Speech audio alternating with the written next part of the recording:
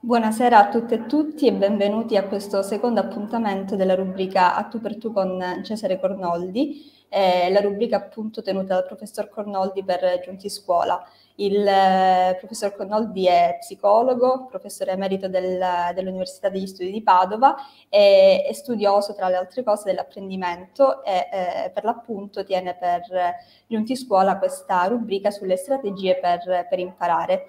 E, ehm, alla fine il professore risponderà a delle domande che sono giunte dalle insegnanti e dagli insegnanti e per il momento io non tolgo ulteriore tempo e lascio la parola al professore. Bene, un saluto a tutti e a tutte e un ringraziamento se mi avete seguito in questi incontri e avete la pazienza di seguirmi anche oggi. un ringraziamento non solo nei miei confronti, ma anche in generale alla, per la sensibilità che allora evidentemente avete per i temi che vi tratto in questi incontri, che sono temi legati no, al mio approccio metacognitivo all'apprendimento, in cui molto credo, anche perché ho potuto vedere che funziona e ci sono anche delle prove di efficacia il um, tema eh, delle strategie per imparare è vastissimo.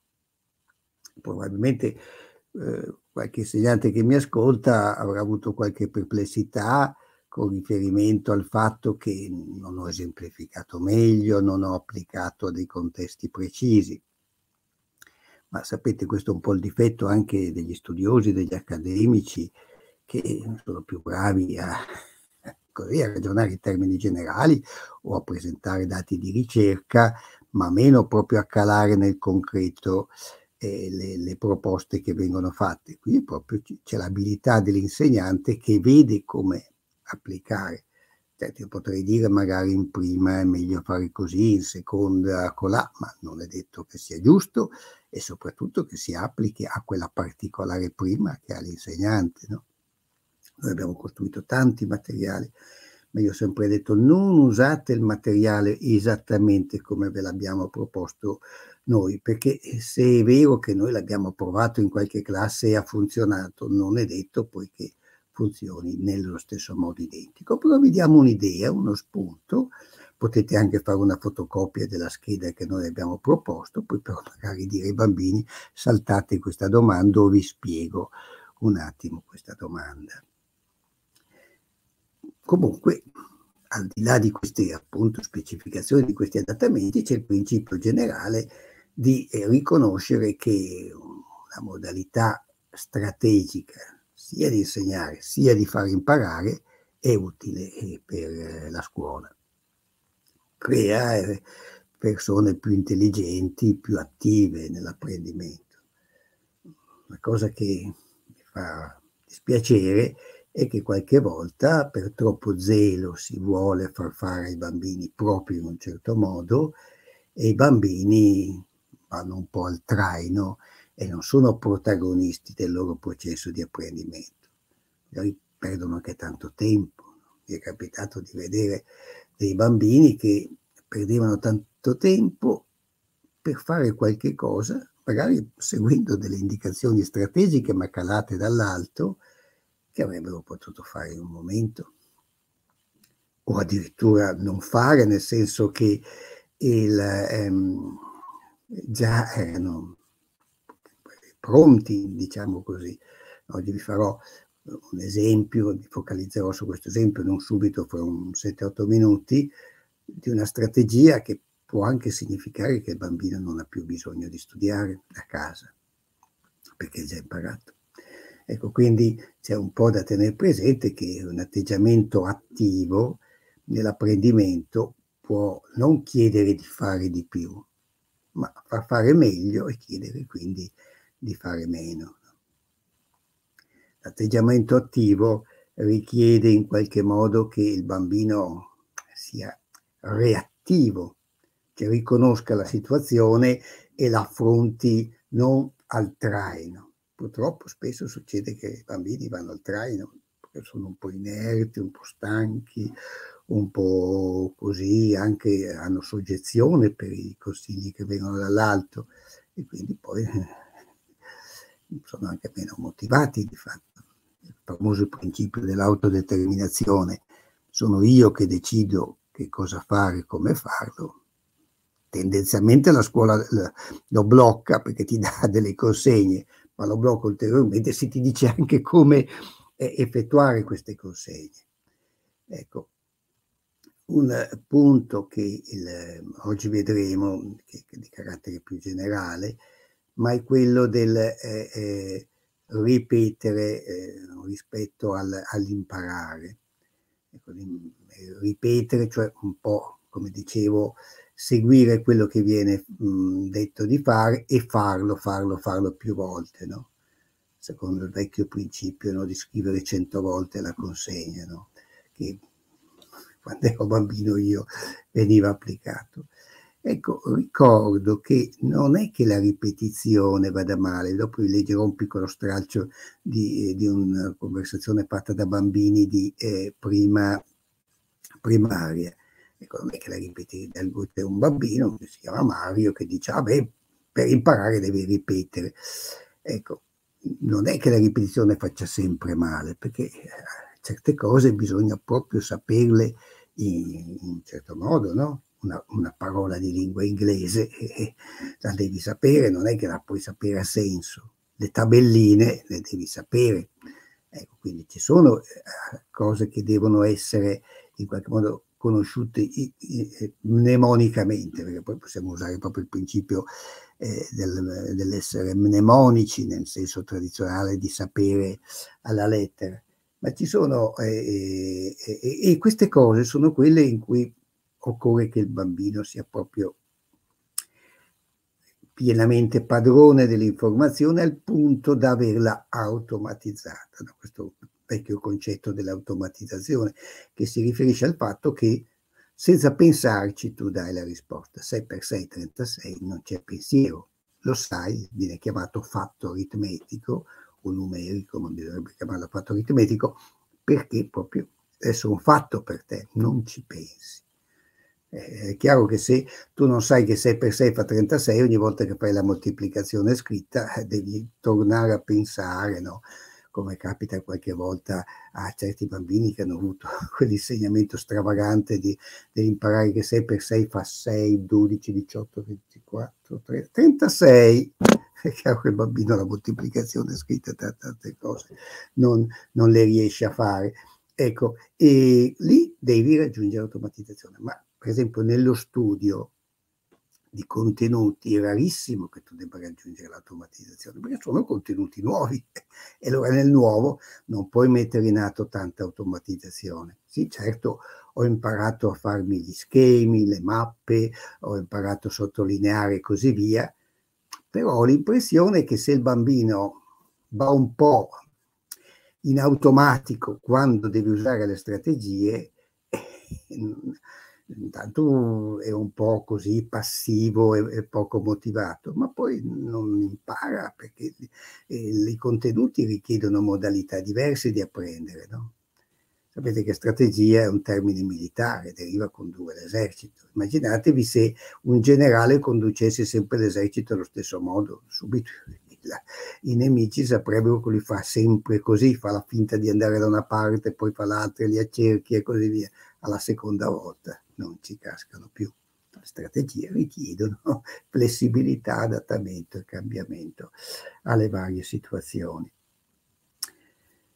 Vi dicevo che oggi mi soffermo uh, sull'esempio rappresentato da una strategia che viene chiamata um, dagli autori di lingua inglese retrieval practice, perché è quella che, su cui ci sono maggiori prove che proprio funziona bene e stranamente non viene utilizzata tanto quanto potrebbe. Ecco, allora mh, mm, voglio spendere due o tre parole sulla mentalità sperimentale. Ecco che secondo me è importante avere sempre presente, no? Cioè l'idea di dire non vado è istinto o intuito? Solito l'intuito ha degli elementi, degli elementi di, di, di supporto, perché se io ho l'intuizione che eh, una certa strategia funzioni, vuol dire che in qualche modo l'ho sperimentato. Però ci sono due problemi. Il primo è che questo intuito, questa sperimentazione si presta spesso alla generalizzazione. L'insegnante ha visto che una cosa ha funzionato una volta, siamo sicuri che funziona anche altre volte.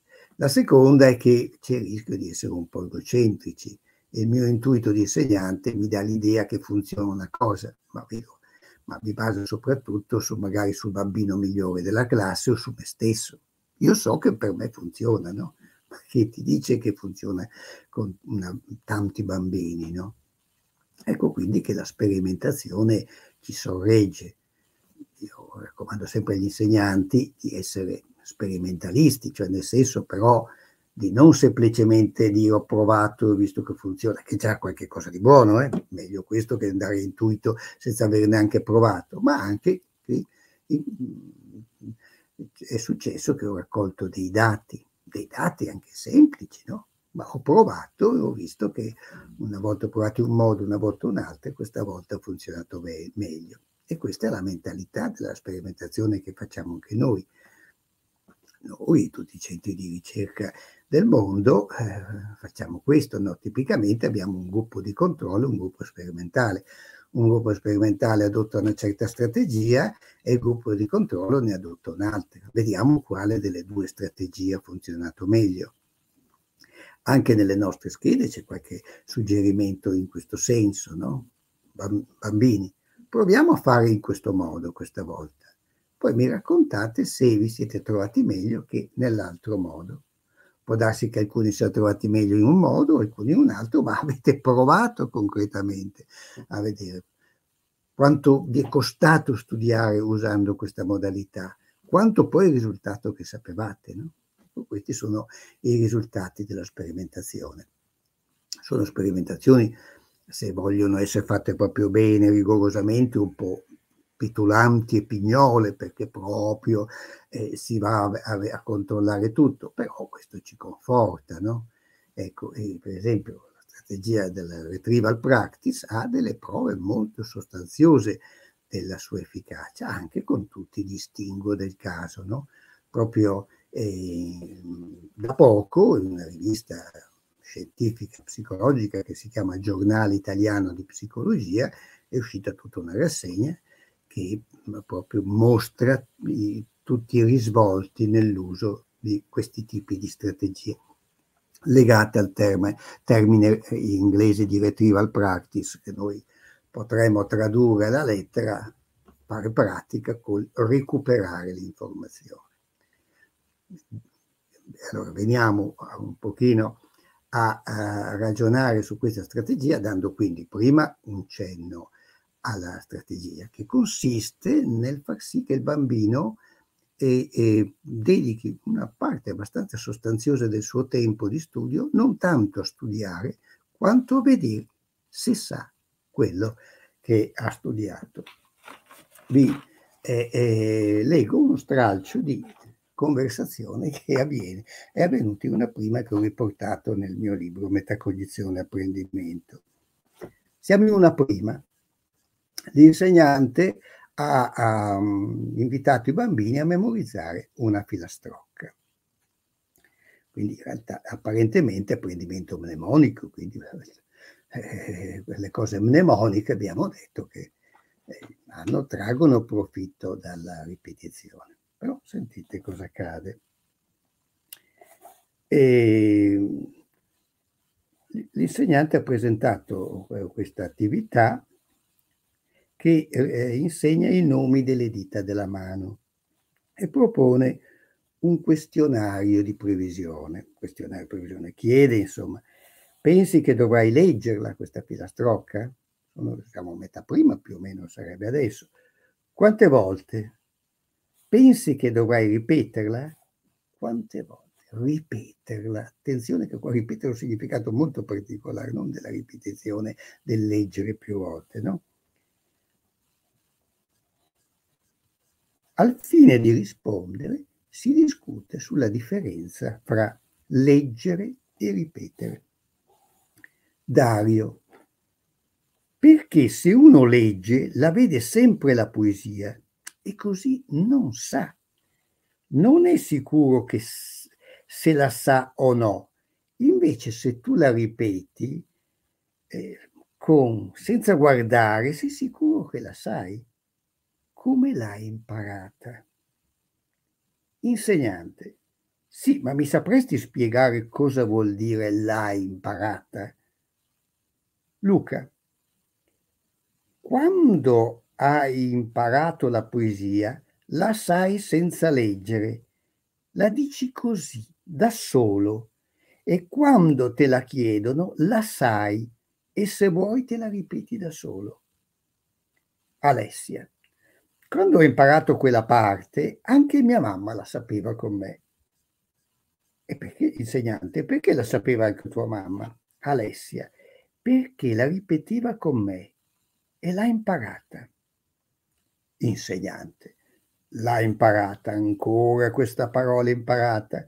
C'è qualcuno che sa dirmi cosa vuol dire? Interviene un altro bambino. È quello che ti ha detto Luca. Non lo ascoltavi? La poesia è come se va dentro la testa, nel cervello e la ricordi. Mario, io imparo a memoria anche le, le letture del nostro libro di lettura. Le leggo così tante volte che non occorre che dopo le leggo, perché le so già. Avete sentito uno stralcio di conversazione? E gradi diversi di maturazione metacognitiva dei bambini? Soffermiamoci sull'ultima battuta del bambino meno metacognitivo. Mario. Io imparo a memoria anche le letture del nostro libro di letture. Le leggo così tante volte che non occorre che dopo le leggo perché lo so già. È vero che se io leggo tante volte è una cosa, poi potrà succedere che anche mi sono entrate in testa, ma è la strategia perdente. Le prove lo dimostrano chiaramente solo se devi proprio sapere le informazioni in quel modo, se sei particolarmente portato a memorizzare quella informazione per ragioni tue, certo, se le informazioni sono i risultati eh, delle Olimpiadi, io sono interessato alle Olimpiadi, è chiaro che, che leggo, leggo, leggo, leggo, seconda la Brignone, terza la, questo che è, eccetera, mi restano tutti i risultati delle partite di calcio o eh, i nomi di, di, di personaggi di un cartone che mi piace. Ma normalmente non funziona. Mario non è metacognitivo, le prove lo dimostrano. Invece gli altri bambini lo sono. Al di là sono, siamo in prima, eh? quindi capite che pensieri fanno che i bambini di prima. Ecco, al di là di questi riferimenti simpatici, ma evidentemente l'insegnante è metacognitiva, perché se no i bambini non avrebbero detto quelle cose, no? Al cervello, alla mente, no? Io amo, ma hanno un significato di sfondo, però eh, ti trasmettono l'idea che il bambino ha presente che c'è una mente, non c'è solo una, um, diciamo così, comportamento esplicito leggere, leggere, leggere, sottolineare, sottolineare, sottolineare per produrre un apprendimento, ma c'è una mente che fa delle operazioni. Ma poi ci sono, abbiamo sentito degli spunti precisi, no? Ecco, e cioè eh, eh, proprio anche Dario, perché se uno la legge, la vede sempre la poesia, e così non è sicuro se la sa o no. Invece se tu la ripeti senza guardare, sei sicuro che la sai. E questo è uno degli elementi del, de, eh, um, che stanno sotto la strategia um, retrieval practice. Eh, noi traduciamo di solito, eh, come dicevo già prima, eh, eh, retrieval con il termine recupero. Ecco, un punto importante eh, dal punto di vista dello sviluppo metacognitivo del bambino è capire che un nodo del sapere, dell'imparare, è preoccuparsi di essere in grado di recuperare. No? Quante volte anche a noi adulti succede che la cosa la sapremo anche, ma al momento buono non ce l'abbiamo pronta, non la sfruttiamo, non la utilizziamo, perché non siamo preparati a recuperare. No? E difatti uno dei principi legati al provare a vedere se si sa è quello di eh, vedere che cosa non solo si sa, ma, ma anche si è in grado di recuperare. Ma nei, nei, principi di questa strategia del ripassare a mente, nel vedere se si sa, ehm, ci sono anche tante altre cose. No?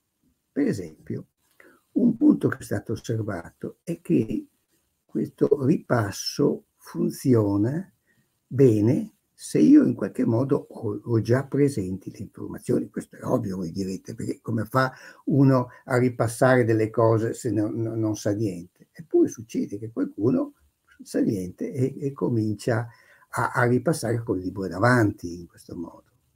Ecco, pensate che alcune prove di efficacia hanno mostrato che mettersi alla prova prima di aver studiato, ma dopo aver sentito la lezione, è molto importante, perché allora si è in quel momento giusto in cui si sa abbastanza, ma ancora si, si deve un po' studiare. Ecco, il, il suggerimento che ho dato a certi insegnanti è di dire provate a invitare i bambini a studiare eh, quello che eh, è stato fatto al mattino all'inizio del pomeriggio. Cioè riaprire il quaderno o il libro, si è fatto quell'argomento e ce l'ho già un po' in mente, quindi me lo riguardo. Adesso pensiamo là dove la verifica di un, un contenuto appreso non viene fatto il giorno dopo, ma viene fatto dopo alcuni giorni. Quale bambino ha la motivazione così forte da fare eh, già quel pomeriggio una cosa che non serve per il giorno dopo. Ecco, non solo quale bambino, quale adolescente, quale adulto, no? Ecco, un, nodo che tipicamente si vede, lo vediamo negli studenti universitari, che uno comincia a studiare quando ha il pensiero, il fatto che eh, dovrà essere messo alla prova su quello che ha studiato. Ma eh, allora cosa fanno alcuni, ed è stato anche oggetto di sperimentazione? Lo fanno addirittura in classe. Noi abbiamo fatto questo, ehm, questo contenuto, affrontato questa, questo argomento e vediamo se sapreste rispondere a queste domande. Adesso, ma non abbiamo studiato maestri, e appunto avete seguito la lezione, avete addirittura davanti il libro se volete questo è opzionale, ci sono tanti modi diversi per provare queste sperimentazioni. Perché quando faremo la verifica le domande saranno queste, ma vediamo se le sapete già. Questo anche eh, dopo vi esime dallo studiare perché l'argomento vi è, vi è noto. Ecco, questo è un modo per mettere subito alla prova questo processo di recuperare le informazioni. E viene messo eh, alla prova quando le informazioni sono ancora presenti e tra l'altro eh, per soddisfazione dell'insegnante sono legate proprio alla pratica che ha fatto l'insegnante. Perché eh, eh dopo eh, il bambino pensa che si basa di più sul libro che su, su quello che ha fatto l'insegnante, non mi sembra neanche una cosa bella e giusta, no? sarei molto contento, anch'io sono stato eh, professore, sono tuttora, tengo dei corsi tuttora e, e, la cosa che mi fa piacere è che gli studenti basino molto di quello che sanno sulla esposizione che gli ho fatto io. Per un professore è molto confortante pensare che è lui che ha dato questi contenuti. Ecco, quindi eh, un'esperienza che potete fare come insegnante è questa. No? Abbiamo sentito la lezione, Vediamo se sapreste rispondere a queste domande. Tra l'altro sapete che l'anticipazione delle domande è una strategia didattica, non è una strategia dell'allievo, però induce una strategia nell'allievo perché l'allievo è orientato. Ecco, tutti gli allievi a tutte le età sono molto aiutati da sapere quali potrebbero essere le domande. Certo, se il bambino ha una consuetudine con il suo insegnante, ha cominciato a capire quali sono le domande. Per esempio ci sono eh, certi libri che mettono di testo che lo introducono già alcune domande, ma l'insegnante fa quelle domande là o no? Capite che questo per il bambino è un, è un aiuto perché allora nel suo studio è orientato a, e si prepara già a rispondere. Ecco, tenete presente che un problema che possono avere alcuni bambini, ma lo sapete meglio di me, è che pur conoscendo l'argomento, e pur in parte sapendolo recuperare, poi però sono impacciati nel rispondere. Ma sarà contenta l'insegnante o meno? Come devo affrontare la risposta? Invece con le domande già anticipate uno sa rispondere. Ecco, mh, mm, osservando certi bambini perfezionisti, ho visto che c'è un piccolo pericolo quando so già le domande, perché allora, preso dall'ansietta o dal perfezionismo, provo a rispondere più volte. Ecco, bisogna appunto rendere i bambini molto elastici e flessibili. Hai risposto. Se hai visto che più o meno hai risposto bene, non preoccuparti di limare la tua risposta, perché dopo diventerai meccanico, no? Sapete benissimo che quando un bambino è, è questo per esempio succede magari più spesso eh, in preadolescenza, ma e vuole mm, strafare questa idea di, di, prendere un bellissimo voto perché sia proprio risposto come si doveva, allora, ah, la domanda è questa, vediamo, si risponde così, poi riprova dopo un'ora, risponde così, riprova, riprova, riprova.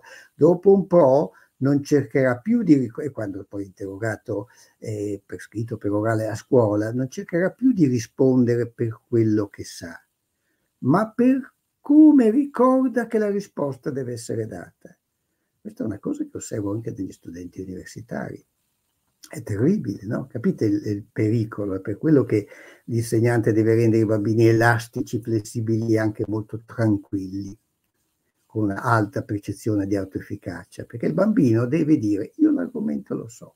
Ho risposto una volta sola e ho risposto decentemente, quindi vuol dire che io lo so l'argomento rispondo pensando quello che so, non rispondo pensando alla risposta che va data, perché allora tendo a essere mnemonico, basta che un, un passaggio mi venga meno e, e, mia, e, non so più come andare avanti. Quindi tanti piccoli spunti che si possono usare anche con questa strategia chiamata di retrieval practice. Ecco, tenete presente che ha tanti modi diversi.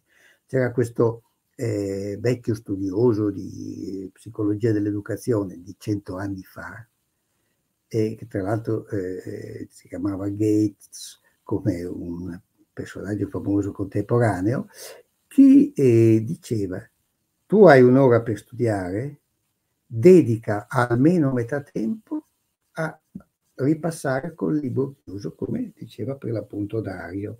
Se tu la ripeti senza guardare, sei sicuro che la sai, si, e che l'hai imparata. No? Ecco, quindi l'importanza di mettere a prova, alla prova la mente col tirare fuori le informazioni. Perché? Perché come abbiamo detto, spesso tu lo sapresti, ma non sei pronto per tirarlo fuori o non hai le vie d'accesso alle informazioni in quel momento e quindi non ritrovi le informazioni che pure hai nel cervello, oppure anche se hai le vie d'accesso non hai la prontezza per tradurre in parole tue quello che comunque sai. Ecco, con questo esempio penso di avervi sia sempre, sia pure in termini molto generali, concretizzato una possibilità eh, strategica che potete usare anche nella vostra pratica didattica. Mi fermo qui, vediamo se ci sono delle domande su questi argomenti che abbiamo affrontato. Grazie professore, grazie soprattutto per gli esempi concreti che ha dato perché ci scrivono gli insegnanti ringraziandola e eh, esprimendo commenti positivi per insomma, la, le spiegazioni teoriche che, che, fornisce, però chiedendo appunto di esemplificare per poter comprendere meglio e per poter poi applicare. Quindi sicuramente molto utili e le faccio la prima domanda.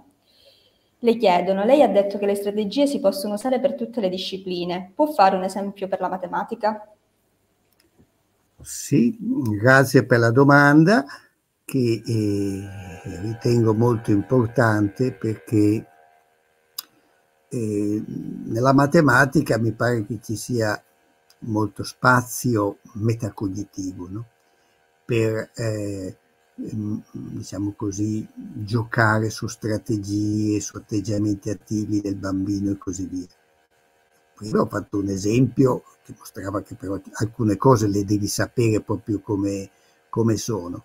Però um, intanto faccio presente che anche le cose che devi sapere come sono, prima di arrivare a questo punto, possono richiedere l'uso di strategie. E poi dall'altro che la matematica ha tantissimi ambiti in cui bisogna essere strategici. Preciso. Allora, tabelline, quelle le devi sapere, no? non, non, non, c'è discussione, no? proprio eh, mnemonicamente. Però, per arrivare a saperle mnemonicamente, si può avere dei passaggi. Prima citavo un po' polemicamente quel passaggio usato da vari insegnanti che il, eh, per dire 6 per 6 fanno 6, 12, 18, 24, 36. Ecco, se questo è semplicemente un passaggio, ha un grande senso, perché è vero, ha ragione l'insegnante, che il bambino in qualche modo eh, è portato a pensare che 6 per 6 fa 36 perché è 6 di più di 6 per 5 che fa 30, no? E difatti si è visto che anche chi sa le tabelline proprio a memoria, in modo meccanico, in realtà riflette e se compie un errore, compie spesso un errore plausibile con un numero che è vicino a quello giusto, quindi vuol dire che non sta solo compiendo un errore mnemonico, ma sta facendo un errore che è legato a una rappresentazione delle quantità.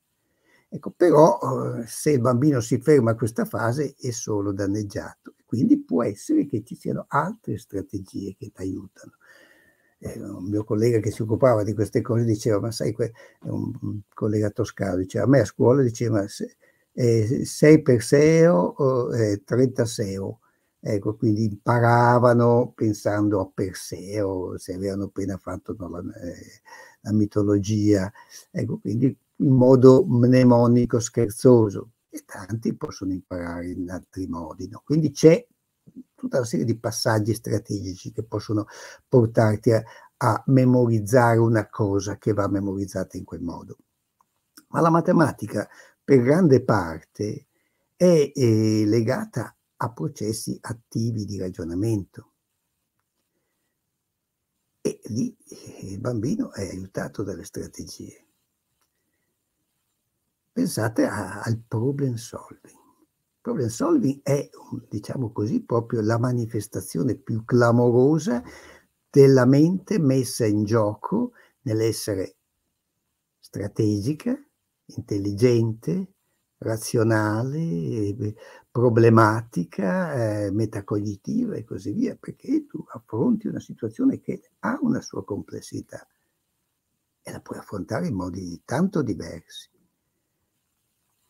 una strategia tipica è evidentemente quella di eh, essere sicuri di aver capito il problema. E in effetti è provato che tanti bambini non eh, risolvono il problema in modo giusto perché in realtà non sono stati a leggerlo bene o non sono capaci di capirlo bene. Talvolta corrono via, ho già capito quello che devo fare senza leggere tre righe di problema, forse il problema lungo un chilometro. No, partono in tromba, come quando fanno i temi e, e, credono già di aver capito che cosa chiede il tema o anche fanno una verifica, perché loro hanno in mente quella domanda lì, ma lo vedo anche all'università. Comincia a fare la domanda e lo studente comincia già a rispondere. Ma scusi, mi lasci finire la domanda? Ah, ma già ho capito quello che mi vuole chiedere. No, e quindi partono per la tangente e rispondono a una cosa diversa. Bene. Quindi c'è l'aspetto del capire il problema ma c'è l'aspetto poi di individuare gli elementi salienti del problema, no? Noi già 30 anni fa abbiamo detto mettete nelle, dentro i problemi insegnanti delle informazioni inutili, perché così sforzi un po' la mente del bambino a andare a cercarsi le, le informazioni utili. E ho visto poi che è stato applicato questo principio. Ecco, e cioè che il problema può includere altre informazioni, come la vita. No? Io devo sapere cosa pagherò per tre pacchetti di figurine, ma ci sono le figurine Pokémon che costano 5 euro e pacchetti che costano 6. è chiaro che la vita mi ha dato il dato 5, il dato 6, ma io prendo solo i pacchetti da 5, quindi dopo mi farò il calcolo che i pacchetti da 5. E così eh, nella soluzione dei problemi. Si cerca un po' di forzare questo, però capite che eh, certi bambini sono danneggiati dalla presenza di informazioni inutili, quindi la mente non vola via bene da certi punti di vista, però è importante che venga messo in gioco tutto questo. No? Allora eh, eh, una strategia è quella di dire mi tiro fuori i dati che mi servono. Ecco. Spesso gli insegnanti insegnano proprio a fare questo, scrivi i dati del problema. Questa è chiaramente una strategia. Ma come dicevo prima, ogni strategia, se diventa ripetitiva, può risultare dannosa. No? Io ho assistito alcuni bambini che facevano tutti i passaggi giusti, come vuole la maestra, ho scritto i dati del problema, ho riscritto il quesito. Quesito è quanto poi con quei soldi, quanti pacchetti di figurine potrà comprare il bambino. E poi ho sbagliato il problema. Perché? Perché applicando in modo diciamo così anche noioso e, e ripetitivo la strategia, dopo non ha avuto la testa sgombra per risolvere il problema. Ho visto un altro bambino vicino a lui che mentre il primo stava là affaticato a fare, l'altro aveva scritto il risultato. Ho detto come hai fatto? Ma senti, vado sempre a comprarmi le figurine, lo sapevo benissimo. Ho ragionato su quello che mi è successo l'altro giorno, che mi aveva fatto il regalo di compleanno, mi aveva dato in tutto 20 euro, sono riuscito a avere quattro pacchetti. Ecco, ho pensato se volevo tre pacchetti con, e mi avanzavo due euro, perché questi bambini con le cose che gli interessano sono bravissimi a fare matematica, poi gli dai il problema, questo è un vecchio principio, lo sappiamo tutti, no? dei grandi educatori del passato che ce l'hanno mostrato, no? questo. Ecco, capite quindi che l'aspetto strategico può essere usato nel, ehm, tantissimo in matematica perché devo essere strategico, ma anche, devo anche capire qual è la strategia giusta. Penso a quello che mi è successo l'altro giorno, mi scrivo i dati problema. Dipende dai casi. Eh, mi ricordo che secondo bambino, quello che aveva già scritto il risultato, ha detto però sono terrorizzato perché dopo la maestra dirà che ho sbagliato. Perché hai sbagliato? È perché non ho fatto come vuole lei. E allora? Eh, adesso lo faccio. Hai già scritto la soluzione? Ah, ma lo faccio perché sennò dopo la maestra non è contenta. Ecco, quindi insegnanti invece incoraggiate la elasticità, la flessibilità. Visto che questo, questo tema della matematica mi, mi stimola molto, mi ricordo l'esempio più classico, di, molto più elementare, di ehm, proposta di strategie, di discussione di strategie. Anche questo è un esempio di cui ho parlato con due bambini. Tra l'altro pensate che uno dei due bambini è in prima e uno in terza, ma uno in prima, e stavamo discutendo su come fare 23 più 18. E, e sì, certo, bambini svegli, ma è, è, stato bello perché abbiamo trovato tanti modi diversi, quindi proprio a, a sostenere questo, no? Eh, la piccolina dice 23 più 18 sa neanche contare bene fino a 41 come si potrà fare però insomma è avanti quindi in realtà ce la faceva. E eh, potrei far così ma non mi conviene eccetera. L'altro dice no io faccio 20 e 10 e poi aggiungo 3 aggiungo 8 ma sei sicuro di tenere in mente queste informazioni? Forse no. Allora me lo scrivo. E se non ti lascio scrivere allora potrei fare 20 più 18 e poi ci metto tre. Pensate tutte le strategie diverse che possono avere. L'altra, che ovviamente non arrivava a questi punti di, di eccellenza strategica, ma era lì tutta però che guardava eh, il bambino più grande che faceva tutti questi ragionamenti. Quindi l'ambito della matematica si presta moltissimo e quindi eh, suggerisco sempre di, di, di stimolare no, il pensare con la, con la testa, che, che diventa anche divertente perché questi bambini lo facevano per gioco con me. Dopo magari la stessa attività la dovevano fare come compito per casa e d'improvviso non volevano più farla, ma invece il gioco con me si divertivano a fare 23 più 18, perché ho scoperto che ai bambini la matematica piace moltissimo. Ecco, e la piccolina era interessata anche lei no? a vedere questi passaggi, ah, ciao, ciao, ciao, è vero, e così seguiva un po' il, il fratello, sì, perché poi questi due bambini sono fratello e sorella. Ecco, quindi per dire no, queste ehm, eh, situazioni applicate alla matematica, ma chi mi ascolta sono sicuro che ne ha in mente tantissime altre. Grazie professore, le faccio subito la seconda domanda che è arrivata. Le chiedono, buonasera, che rapporto c'è tra capacità di comprensione e capacità di imparare? Bene, grazie per la domanda, che è proprio una domanda classica del, ehm, dell'imparare e dello studiare. Qui siamo, però in generale di, di tutto l'imparare. E mi permette di collegarmi a quanto dicevo, cioè al fatto che e il, eh, il mnemonico, no, eh, lo sappiamo, va evitato il più possibile. È vero, certe cose sono mnemoniche, quindi, eh, e non solo nei bambini, ma anche negli adolescenti, no? Eh, pensate anche su aspetti linguistici, perché diventa mnemonica una tabellina, diventa mnemonico un termine in lingua straniera, esempi che facevo prima ma anche aspetti linguistici possono diventare mnemonici e piacere, no? perché piacciono le poesie imparate a memoria, e tanto più se non le hai capite. Eh, non mi ricordo neanche più come cominciava, eh, e fussi come immobile dato il mortale respiro, mm, o sospiro, chi lo sa, perché sono mnemonico anch'io, eh, ricordo queste poesie imparate eh, da adolescente o anche eh, la nebbia gli irticolli a quei ai nostri tempi, più avvicinando sale. A me piaceva musicalmente, no? non è che poi stessi attento all'esatto senso delle parole. Quindi è vero che ci sono anche componenti mnemoniche che non passano per il significato. Perché? Perché poi le devi sapere proprio letteralmente.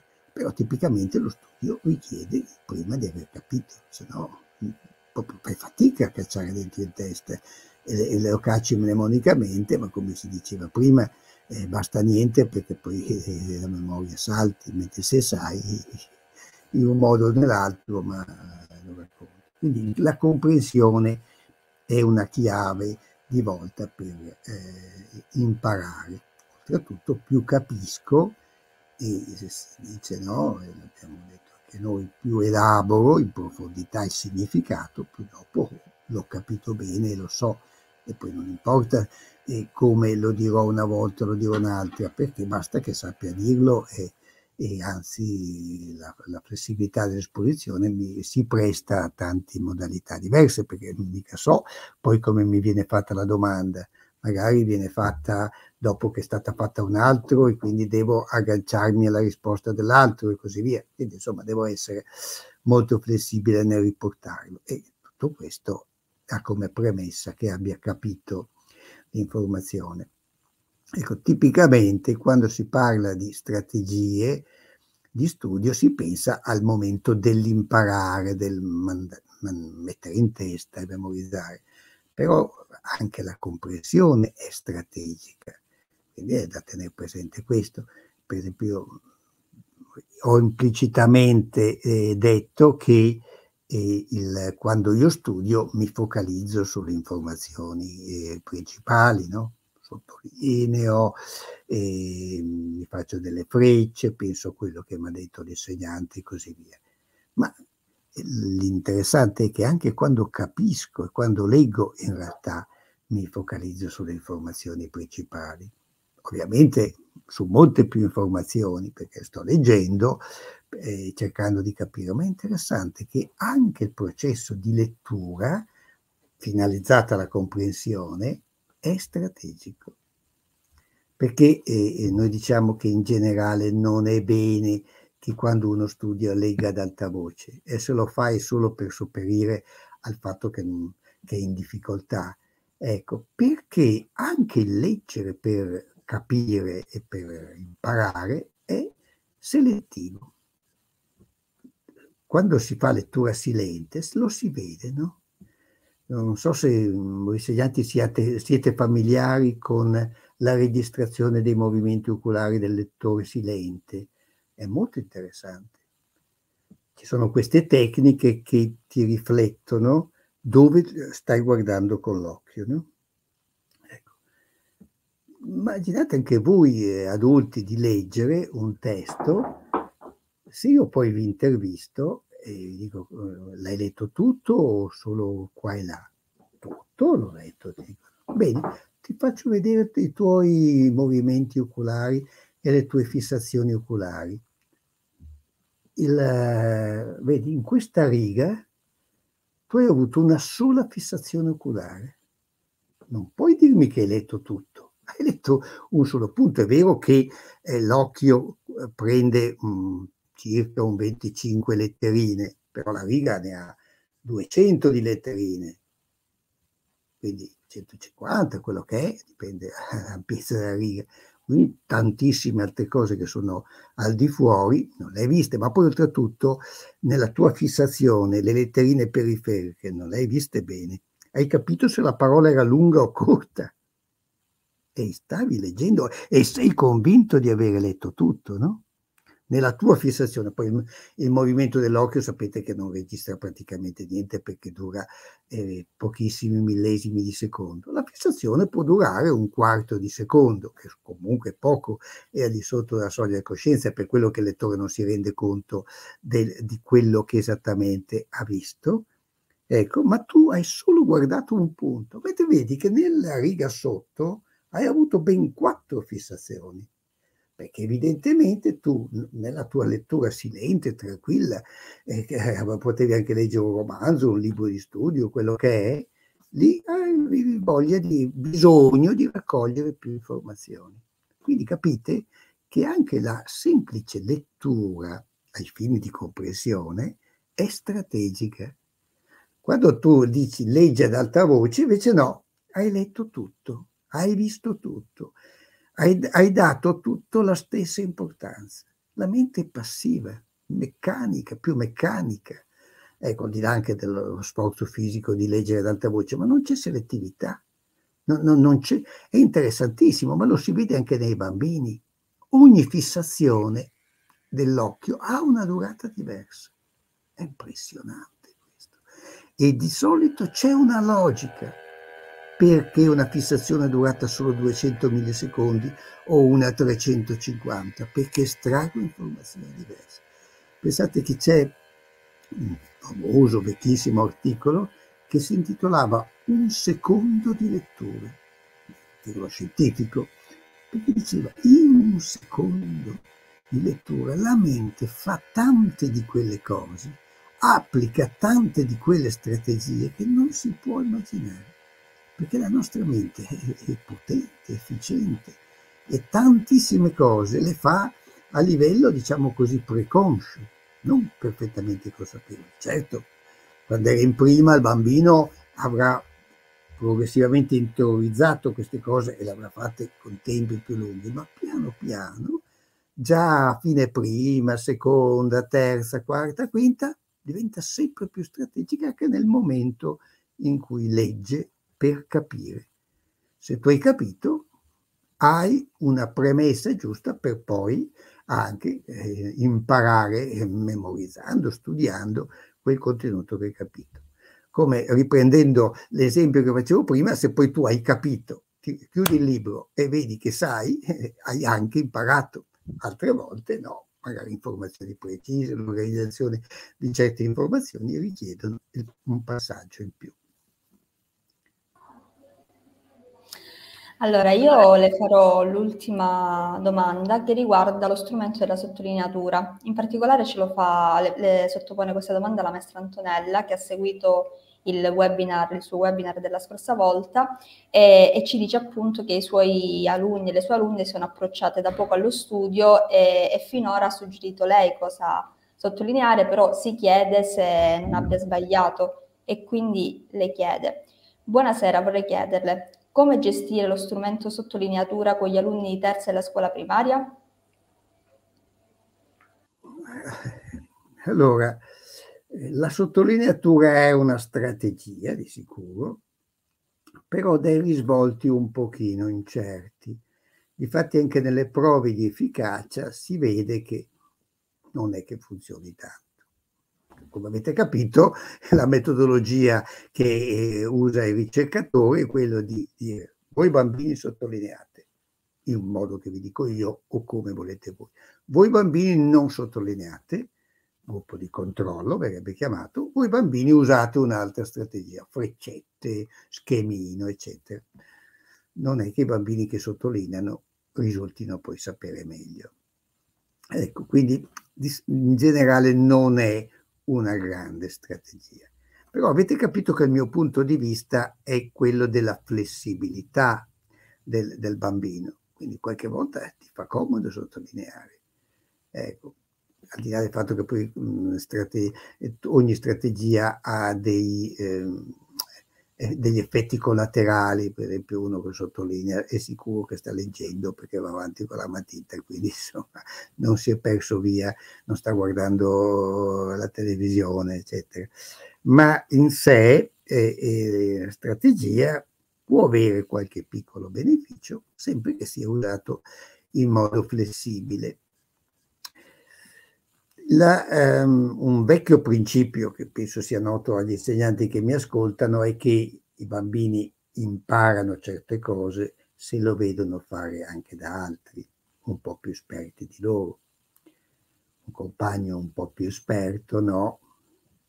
Dice, ti aiuto io a studiare, oggi guarda, ti sottolineo io e, e però bisogna che anche il compagno esperto non conosca l'argomento, se no sottolinea perché sa già le cose che trova. Attenzione, uno dei problemi della strategia è sottolineare che io non so che cosa effettivamente poi risulterà importante o meno, perché non ho ancora letto tutto il contenuto, a meno che abbia presente la lezione dell'insegnante. Però anche lì eh, il pericolo che io sottolinei le cose che so già. Eh, ho, ho proprio visto alcuni anche adolescenti che studiavano e ho chiesto ma perché sottolinei queste cose? Eh perché so che sono importanti, ma le sapevi? Sì. E dopo quando fai il ripasso vai a vedere le cose sottolineate che in realtà sapevi già o le altre, capite? Tutti risvolti a sottolineare, ma parlandone con i compagni o vedendo uno che ti esemplifica e le cose da sottolineare, sicuramente ha, in qualche modo interiorizzi una modalità di sottolineare. Ecco, infatti appunto se un insegnante eh, dice ma leggiamo il testo di studio e vediamo dove potremmo sottolineare, capite che dà un esempio attivo. Una cosa che sorprende è che molto spesso e le strategie nascono dal nulla e ognuno non ci ha mai pensato. La fa, la uso, no? Ma lo chiedi anche agli adolescenti, ma perché tu eh, eh, studi in questo modo? Noi abbiamo un, proprio, abbiamo un centro per i bambini con difficoltà di apprendimento e fra le prove che proponiamo, proponiamo una prova di studio. Per mezz'ora devi studiare questo testo dopo ci sarà una pausa e poi vedremo che cosa ti è rimasto del testo che, che hai studiato. Ma lo osserviamo e tu vedi che, che, vanno un po' a ruota libera nel sottolineare. Ma perché hai sottolineato così? Oh, non lo so. Ma mi è venuto da fare in questo modo. Allora sottolineano più volte e così via. Ecco. Ma è singolare che un comportamento non sia nato da nessun insegnamento e soprattutto che uno non sia mai posto e, e se questo comportamento è funzionale o meno. È incredibile. Gli studenti eh, studiano per 15 anni della loro vita e non hanno mai fatto una piccola riflessione, esperienza su come può essere utile studiare. È una cosa che sembrerebbe insensata, è come se io facessi una certa operazione che si può fare in tanti modi differenti e non avessi mai cercato di pensare quale sia il modo migliore per farlo. Nessuno mi avesse mai insegnato a farlo. E, mm, la sottolineatura è un esempio di questo. Tantissimi sottolineano, ma nessuno gli ha mai fatto fare prima una prova. Proviamo a vedere come sottolineare. Io sottolineerei così e così, ma, ma che scopo stiamo sottolineando? Perché per esempio, lo studente che sottolinea le cose che sa già che ritiene più importanti potrebbe avere lo scopo di dire Dopo però non guardo più il testo. Il sottolineare mi serve per ribadire che sono le cose importanti, cioè mi serve in fase di elaborazione. Oggi abbiamo parlato di recupero, ma se il sottolineare mi serve in fase di recupero per ripassare le cose più importanti o vedere se le sapevo, allora è assurdo che io debba tornare a vedere le cose che so già tra l'altro sviluppa una mente banale e ripetitiva che si focalizza sulle cose che sa. Avrei dovuto sottolineare quelle cose che, per le quali dovevo stare attento. Quindi è anche capire perché scoppio sto effettuando questa sottolineatura. Ecco, quindi eh, in terza, tra l'altro, gli alunni sono in grado di eh, sviluppare questa sensibilità al sottolineare, no? Ecco, e, e l'insegnante può dire, ma mi ha fatto vedere, questo succede anche in università, qualche volta il professore eh, dice, eh, ma mi faccia vedere, prenda pure il libro di testo se non sa rispondere, un'ottima modalità anche di fare gli esami in certi casi, no? Ecco, può pure rispondere con il libro, perché già nella vita lei potrà avere il libro, no? Per esempio deve usare un certo strumento. Psicologi non usiamo tanti test, tanti strumenti, ma sarebbe insensato se lei usasse eh, questo strumento senza avere davanti il manuale, il testo che dice come si usa. Quindi io l'autorizzo a aprirsi il testo. Ecco, va bene. E può succedere questo, ma lo dicevo perché dopo apre il testo lo studente è intonso. Ah, tu dici, questo non ha neanche studiato. Ecco, quindi è vero che siamo portati a pensare che un testo tutto scrivacchiato e, e sporcato è stato maggiormente studiato, però non è detto che sia così. Ecco, tra l'altro magari questo studente aveva fatto degli schemi, ecco, infatti magari lo studente dice, ma scusi professore, ma io dal libro sono passato degli schemi, mi permette allora di usare anche gli schemi? E il professore insensato dice no, eh se lui ha studiato usando gli schemi, poverino dovrà pur poter consultare gli schemi. Dopo nella vita, eh, visto che ci sono un manuale di un test magari di 150 pagine, avrà anche questa facilitazione. Ma solo se lui l'ha studiato veramente riesce a utilizzare lo schema, se no non riesce a utilizzarlo. Però dipende dai casi tutto questo, non esistono regole. Un professore intelligente, un insegnante intelligente sa quando è sensato consentire di guardare lo schema e quando invece è, è, è un consentire di rispondere non, avendo, non sapendo l'argomento. Bene, tutto questo per dire che la sottolineatura, così come tante altre strategie, ha tantissimi risvolti differenti, ma questo è proprio il principio che cerco sempre di trasmettere. Non esistono regolette. L'alunno intelligente, gli insegnanti intelligenti aprono le menti del, eh, propri o dei loro allievi e mh, rendendoli sensibili, attenti. No? Si chiama talvolta sensibilità metacognitiva questa capacità di dire come mi conviene affrontare l'argomento, come eh, secondo me potrei raggiungere il massimo dei benefici col minimo dei costi. No? Quindi sapere senza stare lì a diventare ripetitivi che poi dopo l'argomento non mi interessa più, lo so in modo meccanico così via, proprio come eh, essere strategico nel modo giusto in questo caso. Allora è chiaro che la sottolineatura è una risorsa in più, perché non dovrei usarla se vedo che mi funziona? Ma basta che non sia ripetitiva, no? Ecco, quindi quando invece uno sottolinea tutto, legge, legge, sottolinea tutto, sottolinea così un po', per esempio le parole che sono già in eretto, ma perché non faccio mai un ragionamento no, sulle parole in eretto nel libro che studio? No? Faccio mai, non lo so, taluni alunni lo fanno, ma tu gli fai l'intervista e dici, ma hai notato che, parole, che alcune parole sono in eretto? Ti guarda, magari implicitamente l'ha notato, però dopo lo osservino, come vi dicevo, noi no, abbiamo queste prove di studio, quindi andiamo a vedere, ecco, vorremmo anche usare questi apparecchietti che registrano dove va l'occhio, ma anche se non si usano questi apparecchietti, lo si sta semplicemente ad osservare, tu lo vedi, vedi quello che va avanti, sottolinea, sottolinea, ma in modo così ripetitivo, vedi quello che è molto più elastico, ti fa delle freccette, ma ne fa poche, perché dopo alcuni argomenti dice che li sa già, altri invece ossessivi che, che lo fanno in modo eh, eh, proprio rigido e ripetitivo, perché bisogna fare quello, mai pensare che bisogna, niente bisogna farlo, mi è utile farlo, mi aiuta a imparare meglio. Questi sono un po' eh, degli spunti che possiamo applicare al caso della sottolineatura.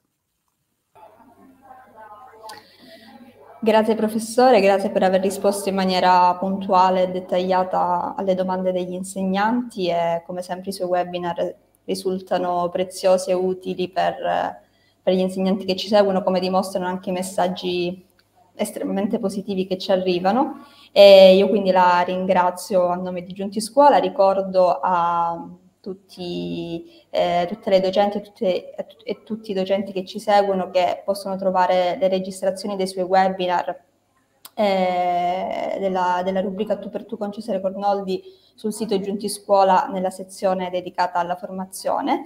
E quindi io la, la ringrazio nuovamente e saluto tutte, eh, tutte le persone che ci hanno seguito e arrivederci. Arrivederci.